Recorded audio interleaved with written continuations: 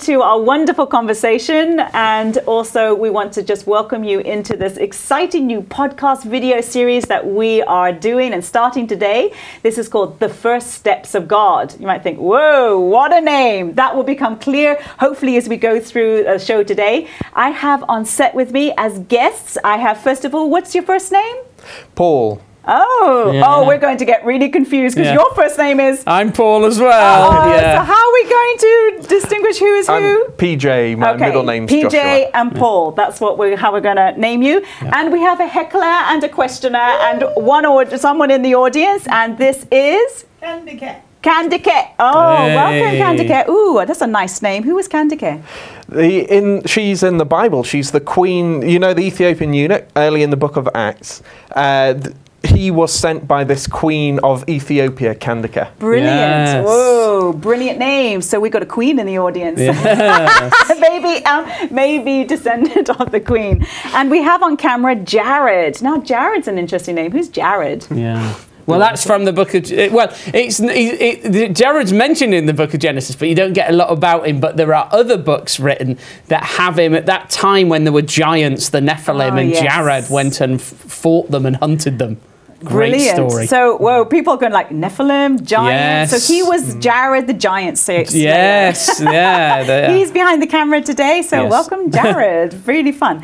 Um, well, why on earth are we even doing this podcast? Why have we even named it The First Steps of God? Because Mm. that's a bit weird. Even people who are religious think that's a bit weird. First Steps of God? Whoa. So, Yeah. well, what are we? What are we all about? Yeah. Well, should we talk about that first Yeah. steps of God concept? Because I think a lot of people have these ideas of God and like, oh God, like some abstract essence or eternal being, and they're like thinking of just some some sort of cloud of being that's very powerful and things.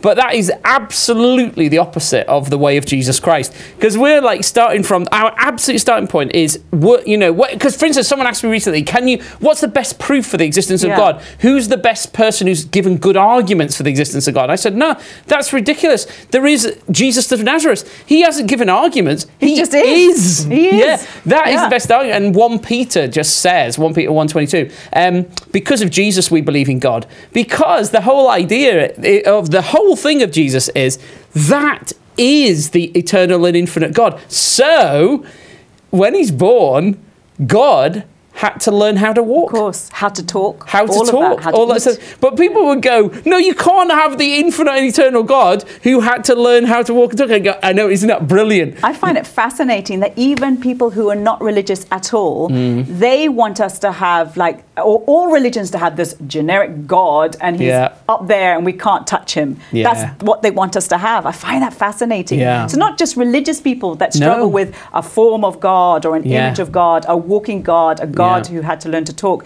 It's even those who don't believe in a God want us to have this other God that's just a generic God and utterly distant. Yeah, because that's what's really going on, isn't it? A God who's at arm's length. But the moment you say, you know that actually the living God became one of us and lived our life, now that's really close and personal Yeah, then. yeah, And yeah. that concept of the, the first, isn't, was there an icon? There is indeed. Yeah, we have it on the wall. We on Oh, the yeah. The icon. Yeah. Uh, where m- the mother, uh, Yeah. Mary, um, the mother of God, is teaching Jesus how to walk. Woo! Some Yeah. people have a problem with that. Some of you may Yeah. even think, oh, I'm going to switch this off. No. no, stay tuned. Stay, Stay tuned. tuned, 'cause We've what- got a lot to Yeah. investigate about all of this. We're going to be challenging and talking about and investigating legends. Yeah. Legends from the Middle Ages, legends Yes. from today. Yeah. Uh, tell me a few topics that you, um, PJ, you start. Just throw out really quickly a few topics you are really interested in that we're going to tackle in the first steps of God. Mm. Education, I suppose, in the Christian eras, especially the medieval period where Christianity is its Now, you really. love studying the Middle Ages, and Yeah. you are studying that at university. Mm. The Crusades, um, a lot of the, the um, civilizations and the kings and the queens of the Middle Ages, aren't you? Yeah, that. Yeah, and yeah, doing that uh, first year of that so far. Going really. You're going to bring a lot of your expertise on. I'm really looking forward to hearing that. Hmm. You've um, found discovered something just recently about education. What was that you discovered about education recently in the Middle Ages? Was there a lack of education, or There was a lot of it in uh, monasteries, cathedrals, Yeah. parish churches. All had their own schools, and they all taught reading, writing, uh, but most of all theology. They, that, that, understanding Jesus was always the most important thing in school. That's what they taught absolutely everyone, even if you didn't sign up for a whole course.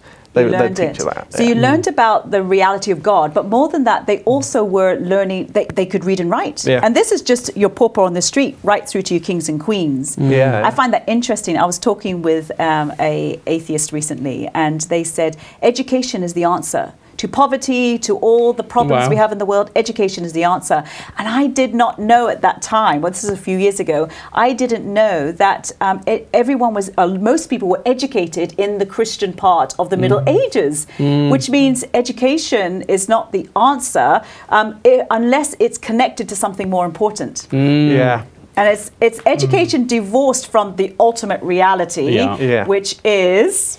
Oh well, no, of course, like that's what we're getting into, and this Yeah. reality of Jesus Christ. And it's uh, sometimes re- recently with someone saying, "Oh, the problem with Christianity is you have to hang your brain up at the door." Yeah. and he said, "I'm not prepared to do Oh, that." I've And- had people yeah. say, you, You're a Christian, after Yeah. I've had a long conversation Yeah. about them, about politics or society. You're a Christian, Yeah. but you actually have You some good think. ideas. You Yeah, think you've got yeah. a brain. I'm like, yeah, yeah, that goes.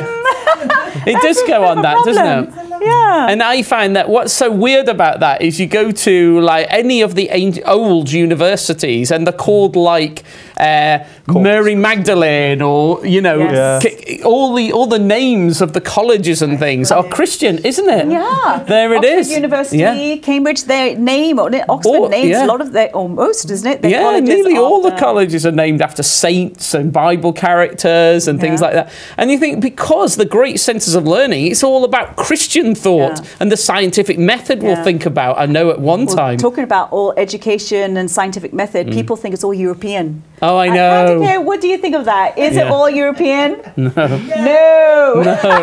I mean, that that's so important to get that sense that you're like, particularly with church history and things like that, where sometimes Christians have said, "Oh, I know church history," and it's like nothing until you get Martin Luther and the Reformation. And I'm saying, no, look, the Reformation's a good bit of church history, but it's much more than Yes. Europe. And most Christians li- uh, did not live in Europe down through history. There's all the African Christianity, Asian Christianity, and I say, challenge people: Do you know about Yes, that? yes. So, what are, we, are some of the topics we're going to hit? We're hitting education. We're going to, ooh, we're going to also ask a question Are there really three Abrahamic religions in the world? Oh yeah, no, Big yeah. one. Uh, we're going to be tackling uh, is Hinduism the source of the Trinity? Oh yeah, common Yeah. myth. That's a common myth. Uh, yeah. Um, is it really Islam born out of Judaism, Christianity, or is it more born out of something else? oh yeah, Ooh, yeah. we'll the tackle history of that. Um, oh, so much more. And uh, we're going to be also tackling freedom. What is freedom? That's Oh, what we're going to do in the next episode. But what is freedom? Yeah. Uh, people don't know what freedom is. No, And and, it's one of those things that everyone believes in, Yeah. like freedom. And then, My freedom. yeah, but what is it? what is it? I think that's an important Ooh, one. yes, yes.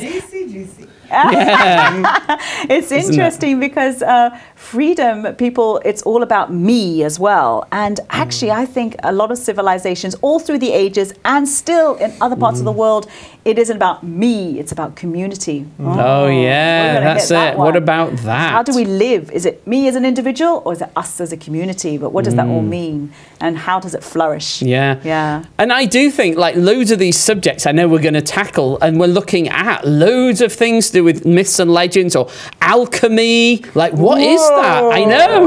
what is that? And then dinner, all these things like what is all that sort of thing? And yeah. and like I remember you mentioned the crusades and what really Yeah, happened in history. yeah. Loads of questions that people assume I know what that's about. Yeah. Do do they? Do they? Do you? Mm, Yeah. Not sure if I know everything about all of those, but uh, join us uh, for the next episode. We're going to be looking at freedom. PJ Paul, thank you very Thank much. you.